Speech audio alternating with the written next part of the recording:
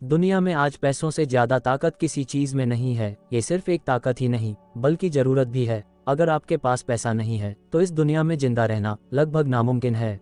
अगर आपके पास पैसे हैं तो आप अपने हर ज़रूरत को पूरा करके एक सुखद एवं संतुष्ट ज़िंदगी जी सकते हैं। हालाँकि कई लोगों को लगता है कि अमीर बनना किस्मत की बात है। उनका मानना है कि इसके लिए बहुत हुनर होना चाहिए, या फिर एक अमीर बाप होना चाहिए। लेकिन असल में अमीर बनने का भी एक साइंस और फॉर्मूला होता है, जैसे दूसरे विषयों में होता है। यदि आप साइंस को समझ जाएँगे और उसके अनुसार काम करेंगे तो फिर आपको अमीर बनने से कोई नहीं रोक सकता। चलिए इसी बात पर आपको एक कहानी सुनाते हैं।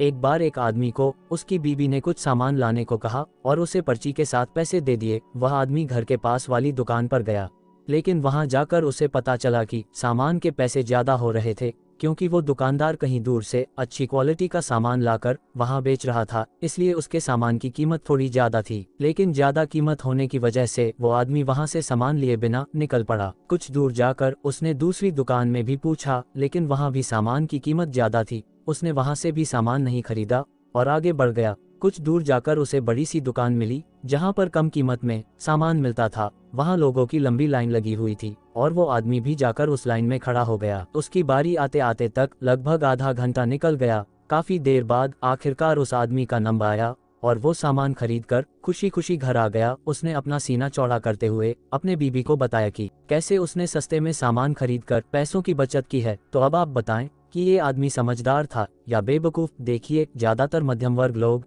इसे समझदार ही कहेंगे, क्योंकि उसने पैसे बचाए थे, लेकिन एक अमीर मानसिकता वाले इंसान को, ये आदमी बेवकूफ़ लगेगा, क्योंकि उसने कुछ पैसे बचाने के चक्कर में अपना एक घंटा बर्बाद कर दिया। इतने समय में वो जितने पैसे बचाया। अगर उसने ये समय किसी सही काम में लगा दिया होता तो शायद उसने उससे सौ गुना ज़्यादा पैसे कमा लिए होते, और इसी मानसिकता का फ़र्क अमीर और गरीब इंसान का फ़र्क करता है। तो अगर आप भी अमीर बनने का साइंस जानना चाहते हैं तो आपको इस ऑडियो बुक को सुनने की ज़रूरत है, जिसका नाम है the science of getting rich, यानी अमीरी का रहस्य। ये आपको सही राह दिखाने में मार्गदर्शक का काम करेगी। हर कोई अमीर बन सकता है, क्योंकि भगवान ने हम सभी के लिए अनंत सागर बनाए हैं। हमें सिर्फ़ उसका इस्तेमाल करना आना चाहिए और फिर आप भी अपने सपनों को हकीकत में बदल सकते हैं और एक अच्छी ज़िंदगी जी सकते हैं। तो सुनते रहिए ये ऑडियो बुक और जानिए अमीर बनने का रहस्य। अमीर बनिए, दरिद्रता की कोई कितनी भी तरफदारी करें, किंतु फिर भी इस सच्चाई से मुँह नहीं मोड़ सकता कि धनी बने बिना परिपूर्ण एवं सफल जीवन जीना कठिन ही नहीं। असंभव भी है। तो चलिए शुरू करते हैं। चैप्टर नंबर एक से जो है, अमीर बनना आपका अधिकार है। धन के बिना, मनुष्य का पूर्ण एवं सफल जीवन जीना कठिन ही नहीं, असंभव भी है। लगातार विकास ही हमारे जीवन का एकमात्र उद्देश्य है। धन के बिना मनुष्य का मानसिक, शारीरिक एवं आत्मिक विकास असंभव है। अतः आज के इस अर्थ युग में धनी बनने के विज्ञान को जानना बेहद ज़रूरी है। कम में संतोष कर लेने से बड़ा पाप इस संसार में और कुछ नहीं है। जब आप बड़ी सफलता पाने की योग्यता रखते हो तो कम में संतोष क्यों किया जाए? प्रकृति भी उन्नति, प्रसार तथा विकास को पसंद करती है। धनी बनने की कामना हमारे जीवन के तीन अंग, तन, मन और आत्मा के विकास के लिए बेहद ज़रूरी है। शरीर के लिए रोटी, कपड़ा और मकान के साथ साथ कठोर परिश्रम से मुक्ति, मन के लिए अच्छे साहित्य एवं अन्य मनोरंजन के साधन एवं आत्मा के लिए प्रेम अति आवश्यक है और गरीबी में इन तीनों, यानी तन, मन और आत्मा की संतुष्टि नहीं हो सकती, इसलिए धनी बनना हमारा प्रथम कर्तव्य है। पहले तो आपके अंदर अमीर बनने की कामना होनी चाहिए, फिर ध्यानपूर्वक इसकी पूर्ति के लिए सहयोगी विज्ञान का अध्ययन करना चाहिए। चैप्टर नंबर दो है अमीरी का विज्ञान। लेखक का कहना है कि गणित एवं भौतिकी की तरह ही अमीरी का भी नियम है, कोई भी इन्हें सीख कर एवं पालन कर अमीर बन सकता है। एक निश्चित कार्य प्रणाली के साथ लगातार प्रयास करने से धन की प्राप्ति होती है। जो लोग जाने अनजाने में इस कार्य प्रणाली का पालन करते हैं, वे अमीर बन जाते हैं, जबकि बाकी लोग कठिन परिश्रम करने के बाद भी गरीब रह जाते हैं। अमीर बनना किसी विशेष वातावरण या पेशे का परिणाम नहीं होता है। यहाँ तक कि अमीरी का संबंध बुद्धिमानी, विशेष योग्यता प्रतिभा से भी नहीं है। अक्सर दुनिया में बड़े बड़े प्रतिभावान व्यक्ति, कम प्रतिभा वाले के यहाँ नौकरी करते हैं। अमीरी कंजूसी से धन संग्रह करने का भी परिणाम नहीं है। अमीर बनने के लिए एक निर्धारित कार्य प्रणाली पर निरंतर प्रयास करना बहुत ज़रूरी है। दुनिया भर में अमीरों की संख्या कम और गरीबों की संख्या ज़्यादा को देखते हुए सवाल किया जा सकता है कि अमीर बनने का मार्ग कहीं कठिन तो नहीं है? बिल्कुल नहीं है, क्योंकि प्रकृति ने अमीर बनने के लिए आवश्यक गुण हम सभी में पहले से ही डाले हैं। तभी तो बुद्धिमान, प्रतिभावान, मूर्ख, स्वस्थ, अस्वस्थ, बलवान तथा कमज़ोर सभी प्रकार के लोग अमीर बन चुके हैं। यदि आपके शहर का एक आदमी अमीर बन सकता है तो आप भी अमीर बन सकते हैं। जिस काम में आपकी रुचि है, अगर आप उसी काम में हाथ डालेंगे, तभी अपना सर्वश्रेष्ठ प्रदर्शन कर पाएँगे। यदि समान व्यापार में आपका पड़ोसी आपसे अधिक कामयाब है तो इसका सीधा अर्थ है कि आप दोनों के कार्यप्रणाली में अंतर है। यदि आप धनी बनना चाहते हैं तो आपको अपने पड़ोसी के कार्यप्रणाली को अपनाना होगा। चैप्टर नंबर तीन है, क्या अवसर पर एकाधिकार है? धन पर किसी व्यक्ति विशेष का एकाधिकार नहीं है, प्रकृति किसी को भी अवसर का लाभ उठाने से नहीं रोकती है, राजा हो या रंग, अमीर हो या गरीब, नौकर हो या मालिक, प्रकृति सभी को समान रूप से आगे बढ़ने का अवसर देती है, नौकरों को उनके मालिकों द्वारा दबाकर, या फिर बड़े व्यापार के माध्यम से कुचलकर, गरीब नहीं बनाया जाता है। बल्कि उन लोगों की कार्यप्रणाली, सोच तथा नज़रिया, अमीरी के विज्ञान के विरोधी होते हैं। आपूर्ति के अभाव में, यहाँ किसी को निर्धन नहीं रखा गया है। प्रकृति के गर्भ में छिपी, आपकी आवश्यकता से कहीं अधिक संपदा, आपके आपूर्ति के लिए तैयार है।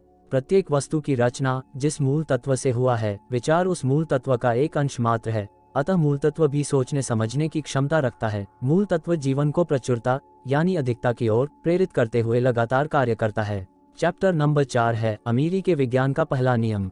अमीर बनने का पहला नियम वह है, जहाँ से हर चीज़ की रचना की शुरुआत होती है, जहाँ से क्रिएटिव प्रोसेस की शुरुआत होती है। यानी कि आपकी सोच राइटर ने कहा है कि, इंसान ही किसी भी सोच का सेंटर पॉइंट है, क्योंकि इंसान ही ऐसा जीव है, जिसमें सोचने की एबिलिटी है। इंसान तब तक कोई भी चीज़ नहीं बना सकता, जब तक वह उसके बारे में सोचता नहीं है। आप जो भी गोल या रिज़ल्ट हासिल करना चाहते हैं उसे अपने दिमाग में रखें बार बार अपने गोल के बारे में सोचने से, वह आपके सबकॉन्शियस माइंड में समा जाएगा। राइटर कहते हैं कि, सही विचार सोचना ही इंसान के लिए सबसे मुश्किल काम है।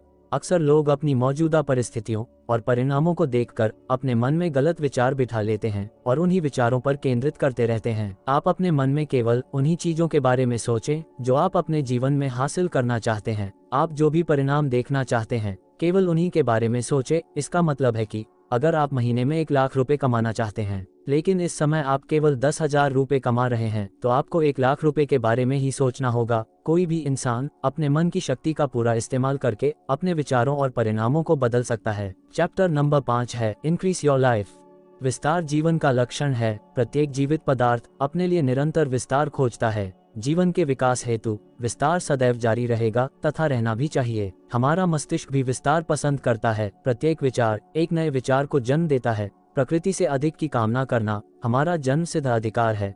आप अमीर बने, ईश्वर भी यही चाहता है। आपके माध्यम से सर्वश्रेष्ठ को प्रदर्शित करना उसका उद्देश्य है। आप में जीते हुए अनंत संभावनाओं तथा जीवन की पूर्णता को वह सिद्ध करना चाहता है। इस महान कार्य में आप भी ईश्वर का सहयोग कर सकते हैं। प्रकृति की अभिलाषा है। आप भी वह सब कुछ पाएँ जो आप पाना चाहते हैं। कुदरती तौर पर सभी कुछ आप ही का है। सर्वप्रथम इस सच्चाई को स्वीकार करें। आपका उद्देश्य मात्र स्वार्थ से प्रेरित न होकर बहुजन हिताय, बहुजन सुखाय के भाव से प्रेरित होना चाहिए। आपका लक्ष्य भौतिक, मानसिक तथा आध्यात्मिक स्तर पर संतुलन बनाए रखते हुए जीवन निर्वाह करने का होना चाहिए।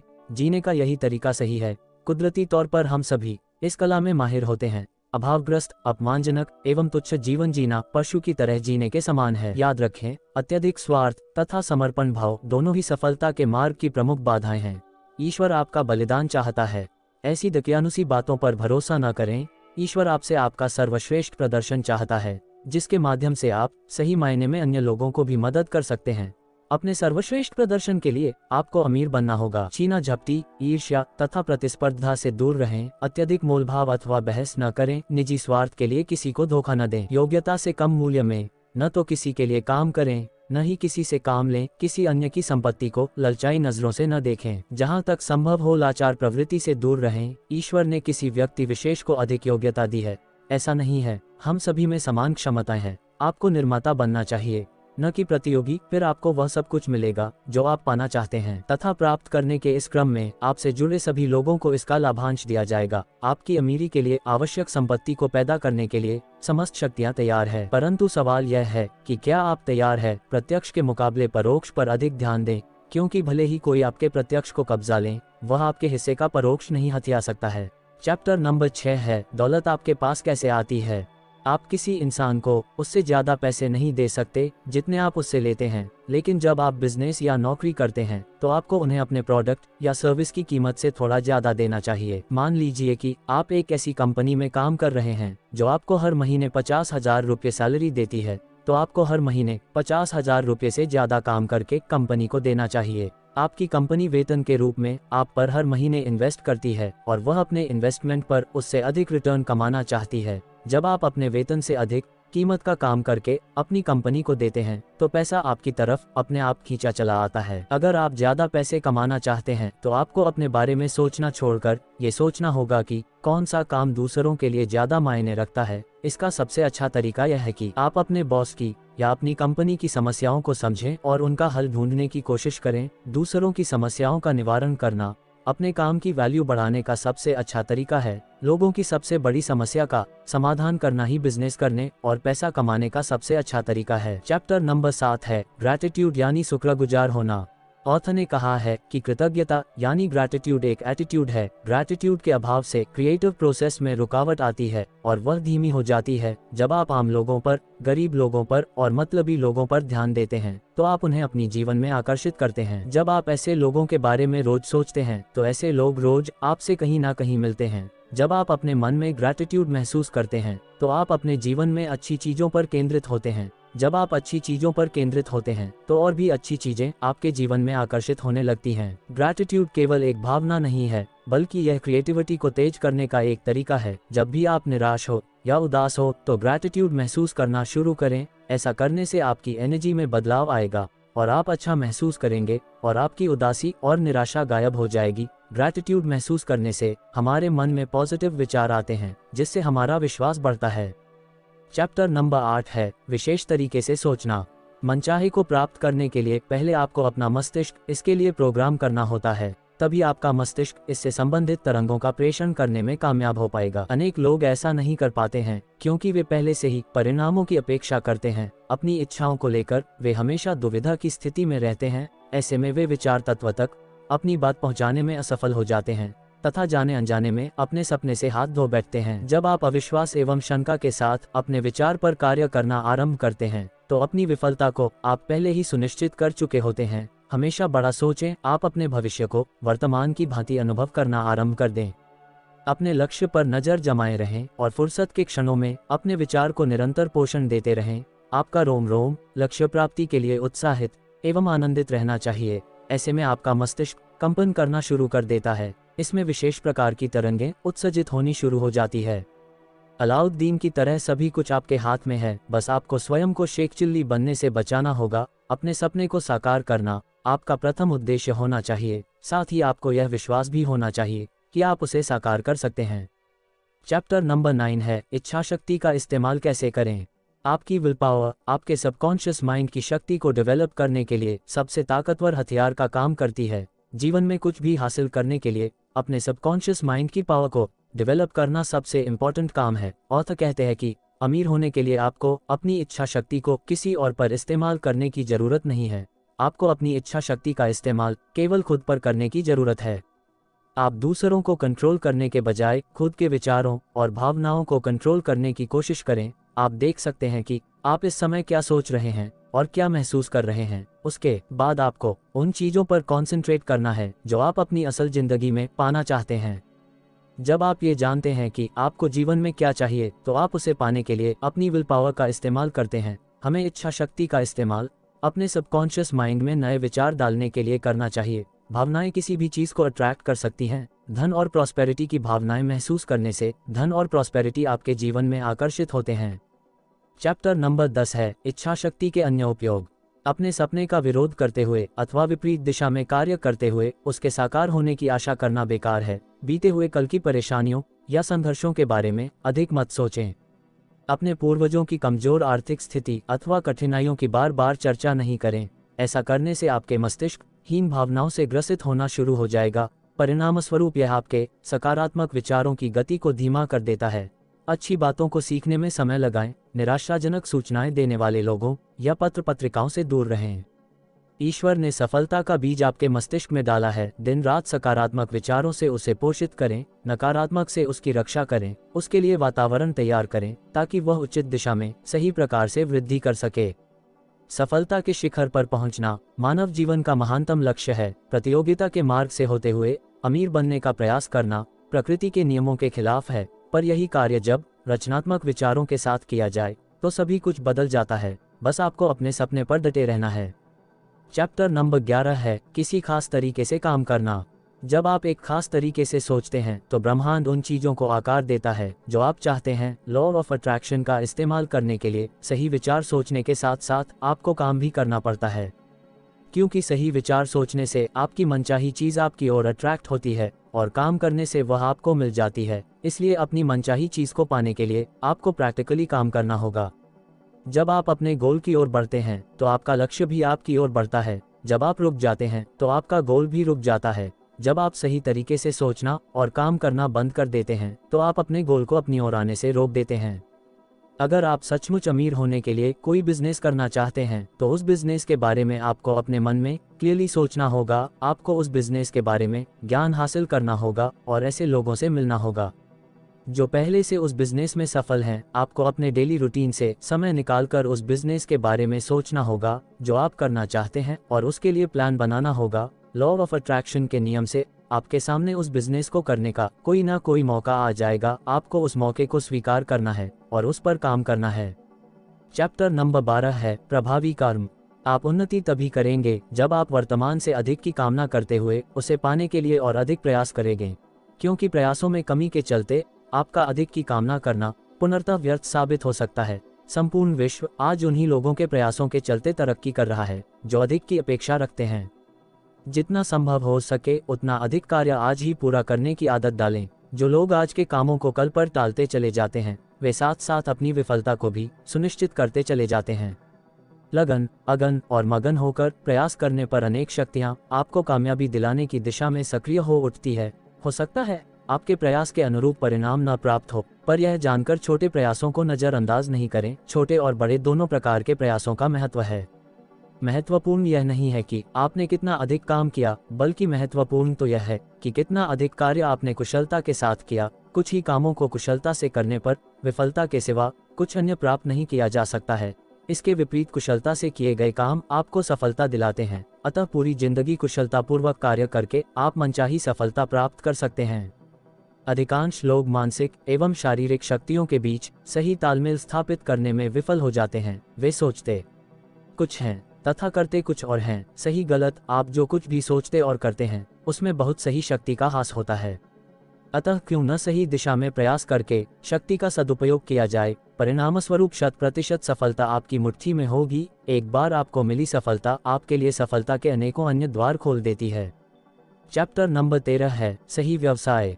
हमेशा वह बिज़नेस या वह काम करना सबसे अच्छा रहता है, जिसके लिए आपके अंदर सबसे अच्छी स्किल्स हो, ऐसा करने से आपके साथ काम करने वाले लोगों को भी इंस्पिरेशन मिलती है। जब आप अपना मनचाहा काम करते हैं तो आपको काम करने में मज़ा आने लगता है, और यह अमीर बनने का सबसे अच्छा तरीका है। अगर कोई दूसरा अवसर आपके ठीक सामने आ जाए और केयरफुल एनालिसिस करने पर आप इस नतीजे पर पहुँचे कि ये सही अवसर है तो इस अवसर को अपने हाथों से जाने ना दे, लेकिन जब भी आपको ऐसा करने में अपनी बुद्धिमत्ता पर संदेह हो रहा हो तो अचानक कोई नया कदम न उठाए। जल्दबाजी, डर या संदेह की वजह से काम करने में गलतियाँ होती है, कोई दूसरा आपको अपनी मनचाही चीज़ करने में पीछे नहीं छोड़ रहा है। यदि एक अवसर चला जाता है तो थोड़ा आगे आपके लिए दूसरा अवसर चला आता है। चैप्टर नंबर चौदह है, प्रचुरता की अभिलाषा। प्रकृति भी प्रचुरता पसंद करती है, ईश्वर का संदेश भी प्रचुरता के ही संबंध में है, इस पृथ्वी पर जीवित प्रत्येक वस्तु की एक ही अभिलाषा है, वह है प्रचुरता, इसमें रुकावट का अर्थ है, मृत्यु। ईसा मसीह के अनुसार उन्हें और दिया जाएगा, जिन्हें और अधिक चाहिए, परंतु संतुष्टों से वापस ले लिया जाएगा। अधिक धन संपत्ति की कामना करना, कतई अपराध अथवा पाप नहीं है। ये जीवन में प्रचुरता को पैदा करने का साधन मात्र है। प्रचुरता की कामना हमारे आत्मा की आवाज़ है। अपने संपर्क में आने वाले को प्रचुरता की ओर तेज़ी से अग्रसर होने के लिए प्रेरित करें, महसूस करें, आप सफलता पाने की दिशा में तेज़ी के साथ आगे बढ़ रहे हैं, साथ ही आप कामयाबी पाने में हज़ारों लोगों की मदद भी कर रहे हैं।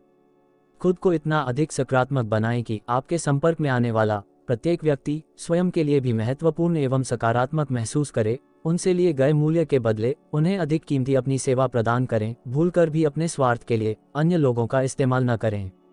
लोगों को धोखा न दें, न ही उन्हें मूर्ख बनाने का प्रयास करें, दूसरों को अपनी उंगली पर नचाने का प्रयास न करें, न ही किसी और के इशारे पर नाचे, अपने भाग्य के विधाता खुद बने, होड़, प्रतियोगिता, जल्दबाजी अथवा प्रतिस्पर्धा से दूर रहें, जोन्स का गोल्डन रूल याद रखें, दूसरों के साथ ऐसा व्यवहार करो, जैसा आपको उनसे अपने लिए चाहिए।